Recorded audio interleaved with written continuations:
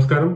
ഞാൻ Babu Jose from great leap consulting ഈ അടുത്തിടയ്ക്ക് വന്ന കോളുകളിൽ കൂടുതലും എടുത്തിട്ടുണ്ടെങ്കിൽ എന്താണ് shop and commercial establishment act അല്ലെങ്കിൽ ഇതിന്റെ രജിസ്ട്രേഷൻ എന്ന് ചോദിച്ചിട്ട് ഒത്തിരി സംശയങ്ങൾ ഈ ഇടയ്ക്ക് കിട്ടിയിട്ടുണ്ടായിരുന്നു.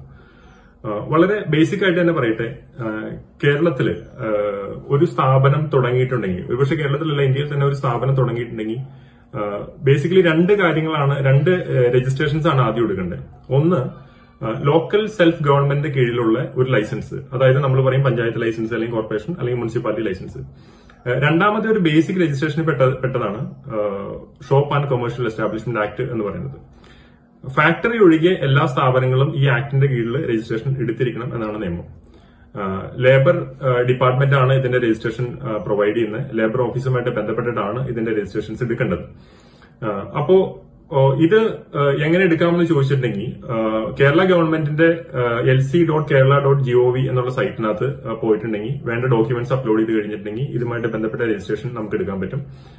ഇതിന്റെ ഒപ്പം തന്നെ വർക്കേഴ്സ് വെൽഫെയർ ഫണ്ട് എന്നുള്ള ഒരു ബോർഡിലും കൂടി നമുക്ക് ഓട്ടോമാറ്റിക്കലി ഇതിനകത്ത് രജിസ്റ്റർ ചെയ്യേണ്ട ഒരു കാര്യമുണ്ട്. വർക്കേഴ്സ് വെൽഫെയർ ഫണ്ടിനകത്തേക്ക് എല്ലാ മാസവും ഒരു എംപ്ലോയിയുടെ പേരിൽ ഇരുപത് രൂപ അതിന്റെ കോൺട്രിബ്യൂഷൻ ആയിട്ട് നമ്മൾ അടയ്ക്കുകയും വേണം. ഇങ്ങനെയുള്ള ബേസിക് രജിസ്ട്രേഷൻസിന്റെ പ്രാധാന്യം കാരണം ഗവൺമെന്റിനെ സംബന്ധിച്ച് എത്ര സ്ഥാപനങ്ങളുണ്ട് ആ സ്ഥാപനങ്ങളിൽ എത്ര പേര് ജോലി ചെയ്യുന്നുണ്ട് ഇവരുടെയൊക്കെ ശമ്പളം എത്രയാണ് ഇവർക്കൊക്കെ ഏത് രീതിയിലാണ് ബിസിനസ് നടത്തിക്കൊണ്ടുപോകാൻ പറ്റുന്നത് ഇതൊക്കെ അസസ് ചെയ്യണമെന്നുണ്ടെങ്കിൽ ഒരു ബേസിക് ഡാറ്റാബേസ് എന്ന് പറയുന്നത് ഇങ്ങനെയുള്ള ബേസിക് രജിസ്ട്രേഷൻസ് ആണ്. അപ്പോ അത് കൂടാതെ നമ്മളെ സംബന്ധിച്ച് ഒരു ബിസിനസ്സുകാരനെ സംബന്ധിച്ച് ആ സ്ഥാപനത്തിന്റെ ഐഡന്റിറ്റി പ്രൂവ് ചെയ്യാനുള്ള വഴികളാണ് ഇതിന്റെ രജിസ്ട്രേഷൻസ് എടുത്ത് ആ സ്ഥാപനത്തെ കംപ്ലൈന്റ് ആയിട്ട് നിർത്തുക എന്നുള്ളത്.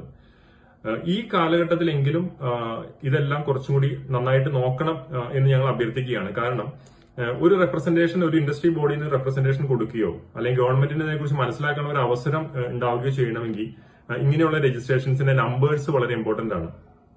അപ്പോൾ ഒരു കാര്യം ശ്രദ്ധിക്കാനുള്ളത് ഇതുമായിട്ട് ബന്ധപ്പെട്ട എന്തെങ്കിലും സംശയങ്ങളോ കാര്യങ്ങളോ ഉണ്ടെങ്കിൽ ലേബർ ലോ പ്രാക്ടീഷണേഴ്സ് അസോസിയേഷന്റെ ഏത് മെമ്പേഴ്സിനെ നിങ്ങൾക്ക് ബന്ധപ്പെടാം. ഈ സമയത്തുള്ള എല്ലാ അഡ്വൈസസും സൗജന്യമായിരിക്കും. ഈ വീഡിയോയ്ക്ക് അവസാനം ഇതിന്റെ സ്റ്റേറ്റ് കമ്മിറ്റി മെമ്പേഴ്സിന്റെ നമ്പേഴ്സും ഇമെയിലും അവൈലബിൾ ആണ്. സ്റ്റേറ്റ് കമ്മിറ്റി മെമ്പേഴ്സിനെ കോൺടാക്ട് ചെയ്താലും നിങ്ങൾക്ക് ഇതിന്റെ ഡീറ്റെയിൽസ് കിട്ടുന്നതായിരിക്കും. കൂടുതൽ വിവരങ്ങളൊക്കെ അറിയാനായിട്ട് ലേബർ ലോ പ്രാക്ടീഷണേഴ്സ് അസോസിയേഷന്റെ ഫേസ്ബുക്ക് പേജ് ലൈക്ക് ചെയ്യുക. ഇതുമായിട്ട് ബന്ധപ്പെട്ട് ലേബർ ലോമായിട്ട് ബന്ധപ്പെട്ട ബേസിക് രജിസ്ട്രേഷൻസുമായിട്ട് ബന്ധപ്പെട്ടുള്ള കൂടുതൽ കാര്യങ്ങൾ ഞങ്ങൾ ഇതിനകത്തേക്ക് ഇതിനകത്ത് പബ്ലിഷ് ചെയ്യുന്നതായിരിക്കും. താങ്ക്